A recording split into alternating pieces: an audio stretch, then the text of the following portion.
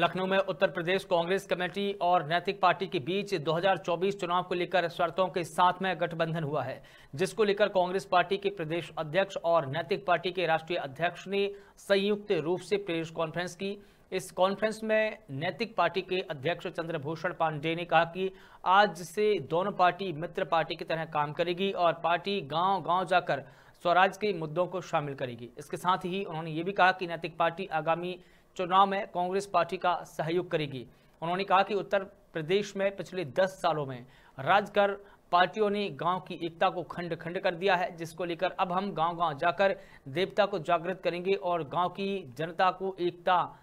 स्थापित करेंगे।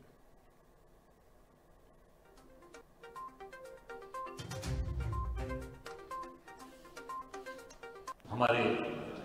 पार्टी के पदाधिकारी और यहाँ उपस्थित हमारे सभी प्रेस मीडिया के सभी सम्मानित भाइयों, बहनों छायाकार और पत्रकार साथी। पांडे जी से मैं कुछ दिन पहले भी मिला तो जो इनसे बातचीत से मुझे लगा कि निश्चित तौर से इनकी मानसिकता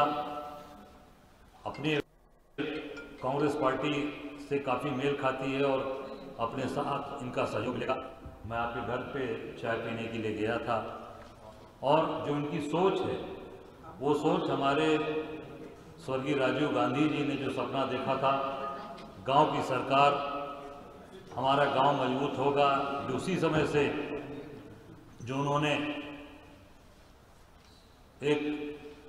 विचार, एक सोच लाई थी